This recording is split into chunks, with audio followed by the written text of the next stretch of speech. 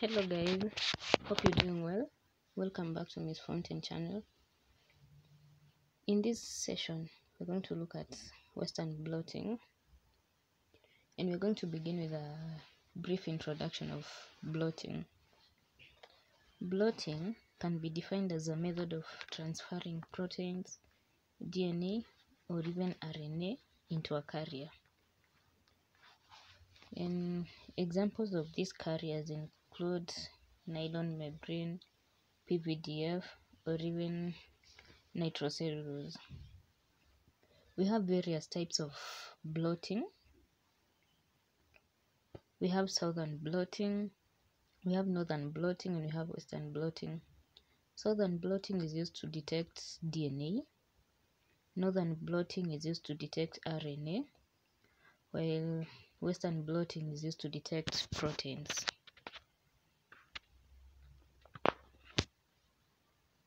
Western blot, these are widely used analytical technique in molecular biology to detect specific protein in a sample of tissue homogenates or uh, extracts.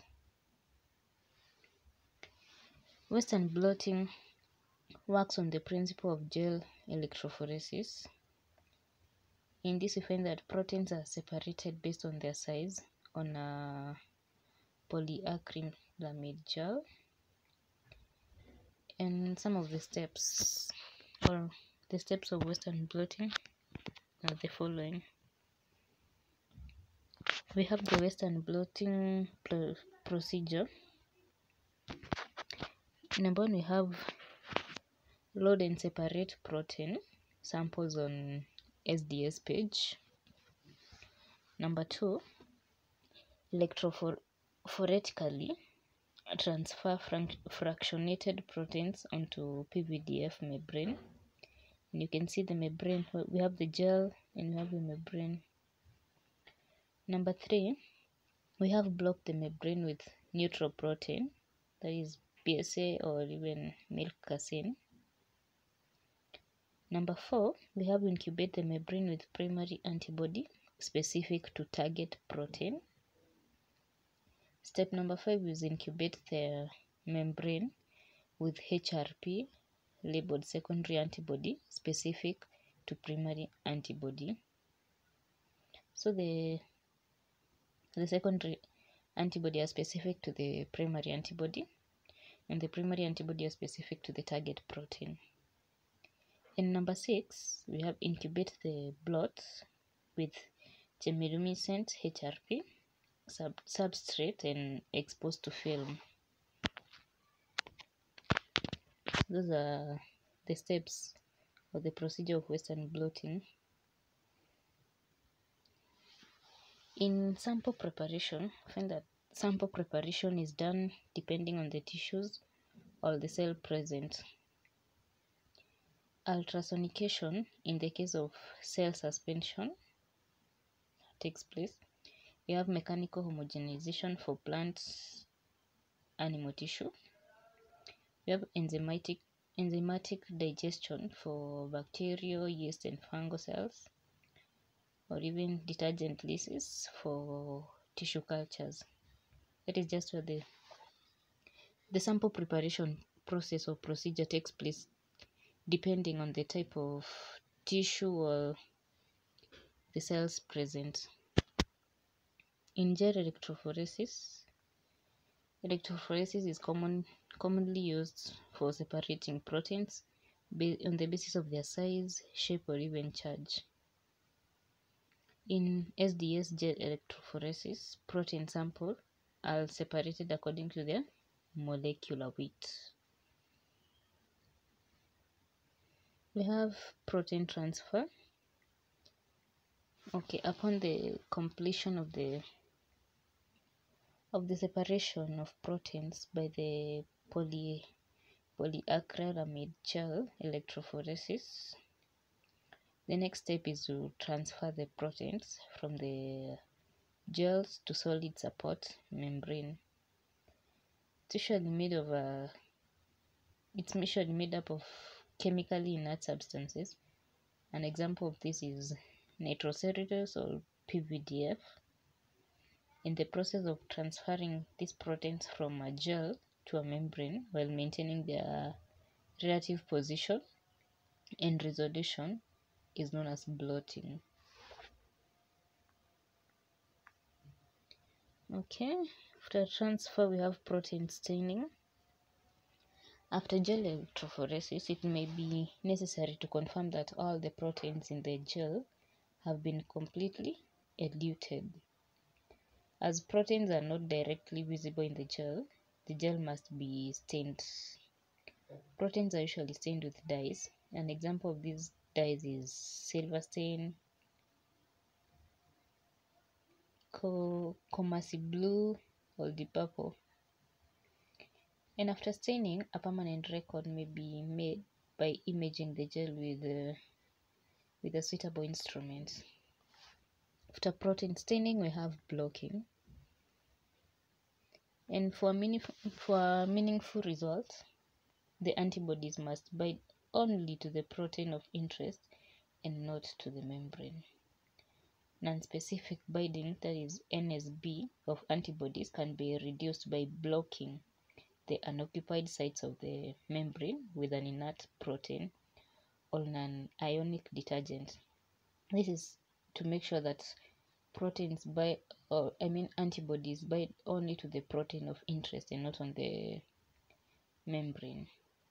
Blocking agents should be or should possess greater affinity towards the membrane than the antibody so that they can so that they can be attracted to the to the membrane and the antibodies won't bind to the membrane because the blocking agents will already be on the membrane.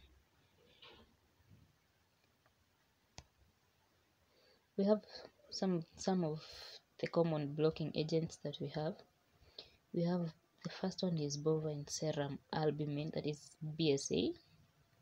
We have non-fat milk. We have casein. We have gelatin. And we also have dilute solution of Tween 20.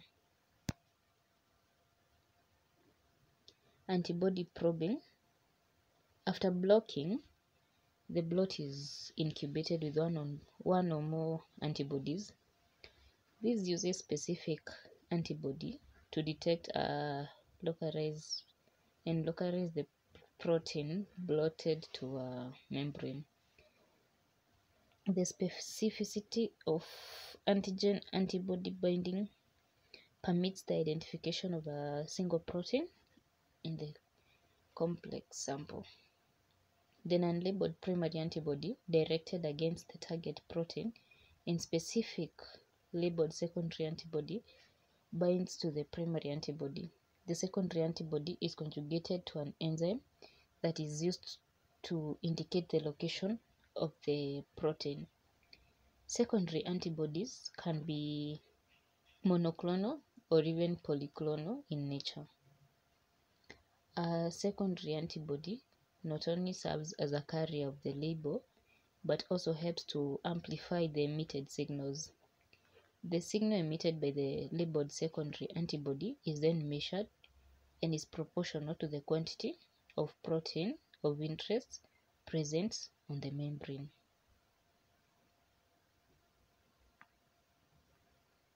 Here we have a, an image showing prob probing with antibodies in detection of the target protein by an enzyme reaction. You can see the target protein, we have other proteins, and you have the membrane. And on the target protein, you can see that is in Y, the Y in, in blue is the primary antibody, the one in red is the secondary antibody, that's the enzyme labeled antibody. We also have light emission or colorimetric change caused by an enzyme reaction. That's a simple image showing the showing probing with antibodies and detection of the target protein by an enzyme reaction.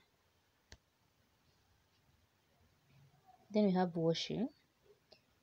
In this step, we find that the unbound antibodies can cause high background and poor detection.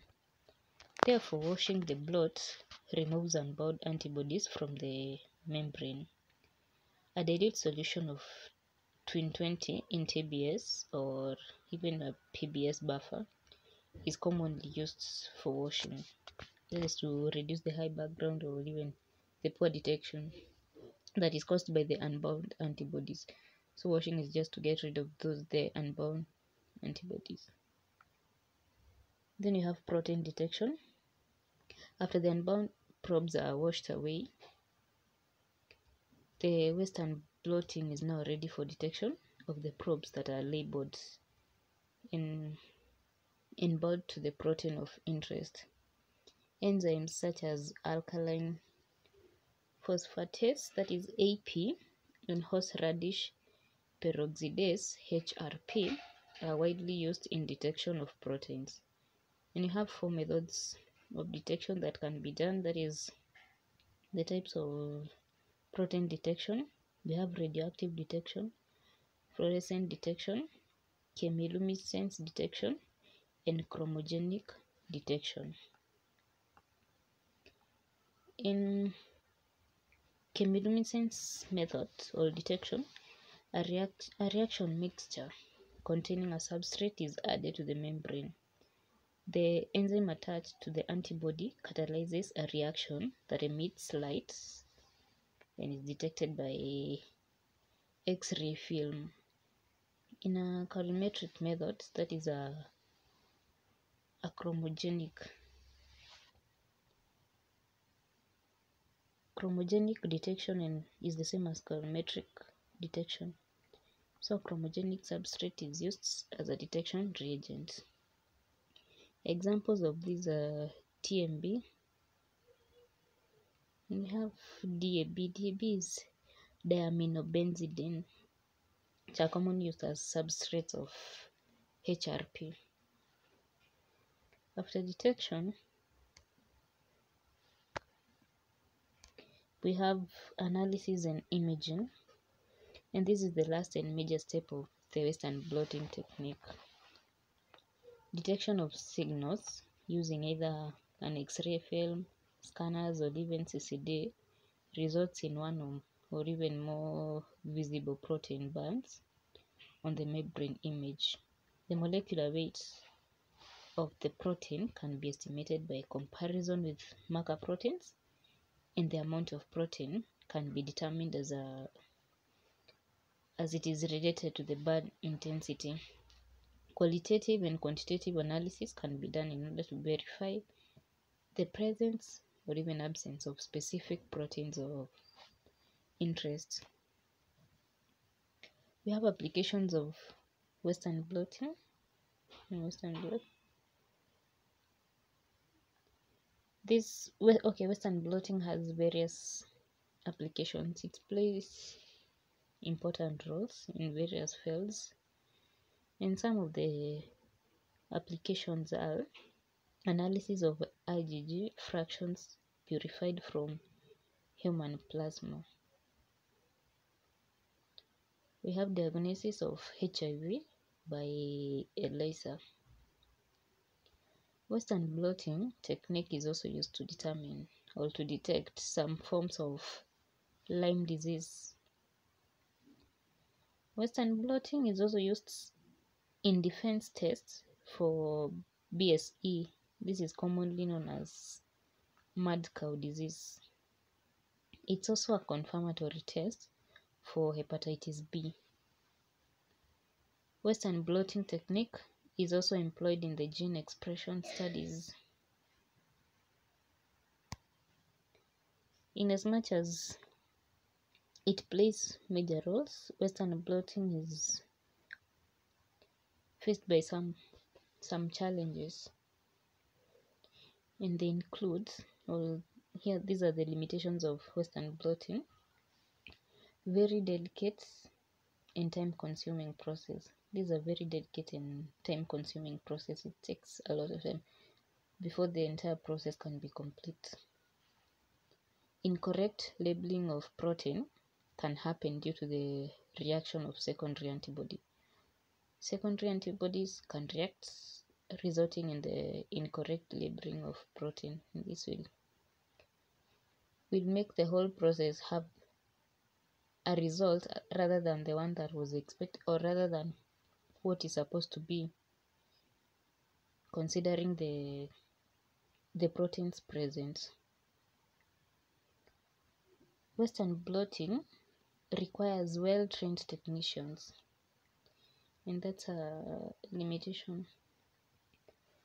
That is that is the simple procedure of western blotting thank you for watching. Stay tuned for more videos. Like share subscribe. See you in the next video